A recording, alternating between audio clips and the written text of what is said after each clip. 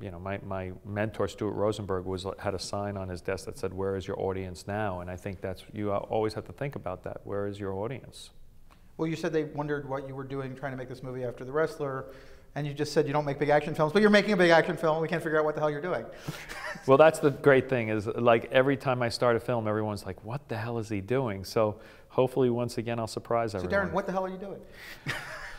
I'm just trying to have fun, and I, I think for the first time in my life, I, you know, every single film I've done so far, I've been the only person in the room who wants to make the movie. Huh. And I kind of am excited about doing a film where I'm actually everyone wants to make it.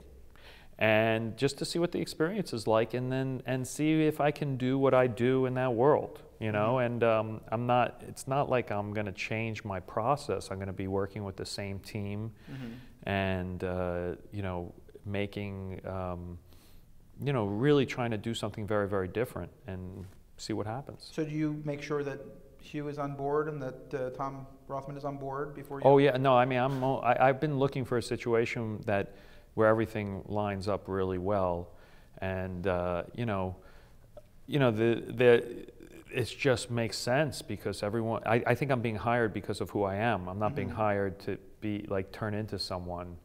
I'm being hired to do what I do. So Thomas said, "Go ahead, be."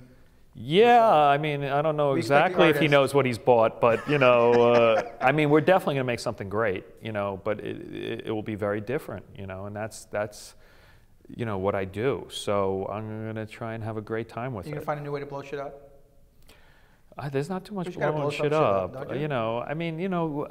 don't you have to blow some shit up in Wolverine too? I don't know. And it's not. By the way, take off the number two. It oh, has sorry. nothing to do with that. It's uh, it's a, a, standalone piece that has nothing okay. to do with anything in the in the whole franchise or in that universe. Wolverine colon the Aronofsky years. The Wolverine. Just the Wolverine.